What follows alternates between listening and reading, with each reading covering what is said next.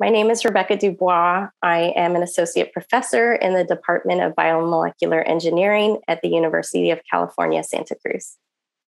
The overall goals of my lab are to understand the molecular mechanisms of human virus infections and how our immune system antibodies are able to fight off infection. We then use that information to develop new vaccine antigens and antiviral therapies. Our first goal in vaccine development is to investigate the atomic structures of virus antigen proteins. These are the proteins on the surface of the virus, and we want to understand what they look like at the molecular level. Then we want to investigate how antibodies target those proteins and block the virus's ability to cause infection. And so we use structural biology to investigate these molecular interactions. We then use that information to understand the most important parts of the virus to target in a vaccine. We use the Octet platform in really three specific ways. The first way is we use it to quantitate the amount of virus antigen protein that we are generating by cell culture in the lab. This is a really quick and easy experiment to quantitate that and allows us to optimize the production and get the most out of our cultures. The second way is that we use the Octet platform to measure the binding affinities of virus antigens with antibodies.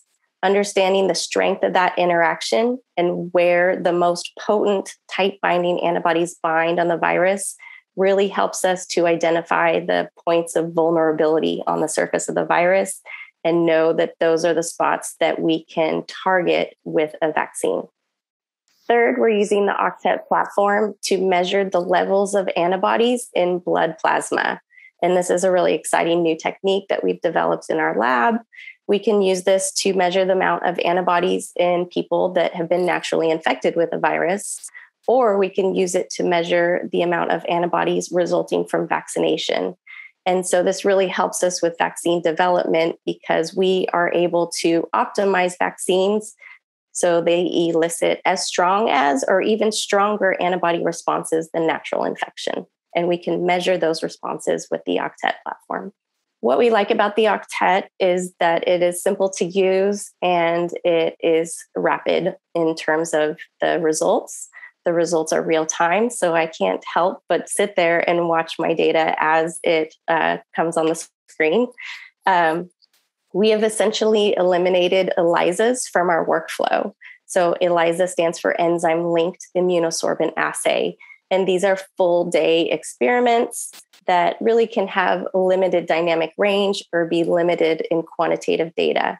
So the Octet platform not only enables us to accomplish our goals faster, but um, the data is more quantitative than ELISA's. In the future, I see vaccine development moving much faster from concept to preclinical trials. And the Octet really enables multiple stages of that development. In my lab, I'm really excited about the generation of synthetic vaccine antigens these are antigens with sequences that do not come from nature, but maybe are a combination of different viruses. And the ability to generate these vaccine antigens that could potentially protect against multiple strains of a given virus.